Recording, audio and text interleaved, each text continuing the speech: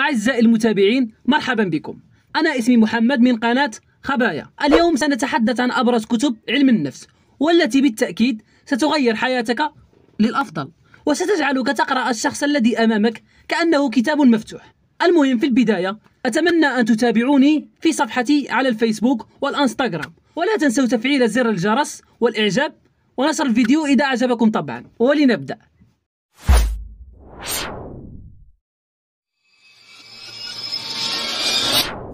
أولا كتاب أسس علم النفس. هذا الكتاب للدكتور إبراهيم عبد الستار وهو من إصدار سلسلة عالم المعرفة ويعتبر من أهم كتب علم النفس التي تخاطب المبتدئين وغير المتخصصين في هذا المجال حيث يتناول الكتاب أسس علم النفس ومناهجه المتعددة والنظريات. وهذا العلم حسب ما وضعه علماء هذا المجال إلى جانب تناول أهم السلوكيات الاجتماعية والنفسية التي نمارسها بشكل يومي.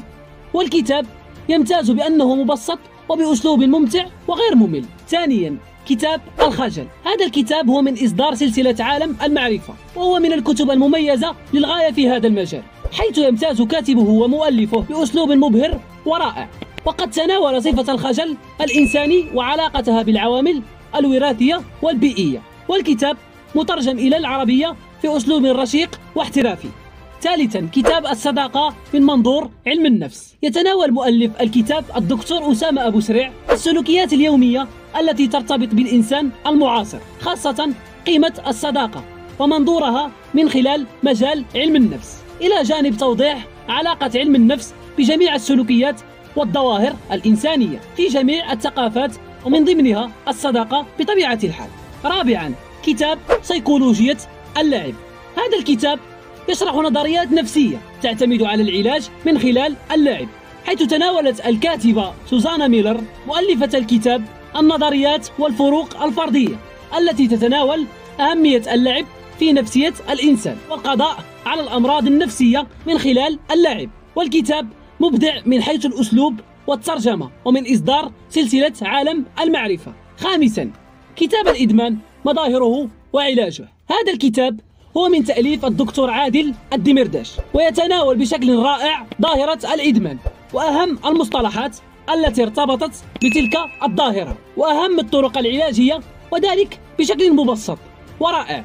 يجذب القارئ من البداية إلى النهاية ويقنعه بخطورة هذه الظاهرة وضرورة اتخاذ التدابير اللازمة للقضاء على تلك الظاهرة.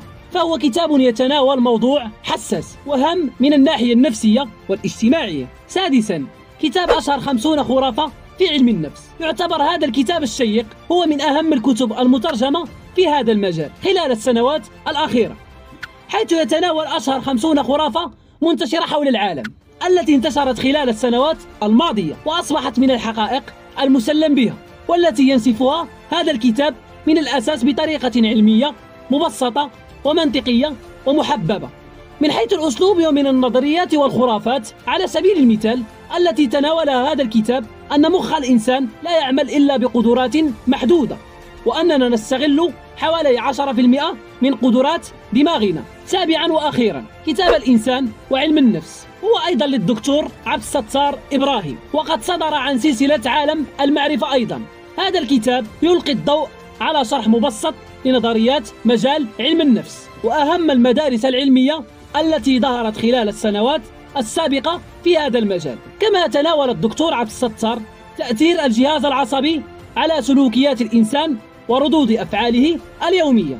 ويمتاز الكتاب برشاقة القلم وعذوبة الأسلوب وبساطة التعريفات. هو كتاب يمكن قراءته وفهمه بسهولة وبالرغم من تناول نظريات نفسية صعبة كانت هذه باقة ممتعة من كتب علم النفس. لكنها بالطبع ليست الوحيدة. فهناك العشرات من الكتب التي لم نتناولها في هذه الحلقة وقد تكون شيقة ورائعة بالنسبة للمبتدئين في مجال علم النفس. في النهاية أتمنى أن تشاركونا آراءكم في التعليقات حول أي من الكتب التي قرأتموها والكتب التي أعجبتكم. وأيضا أتمنى أن تشتركوا في قناتي الثانية ستجدون رابطها في أول تعليق. وشكرا لكم على المتابعة. دمتم في أمان الله.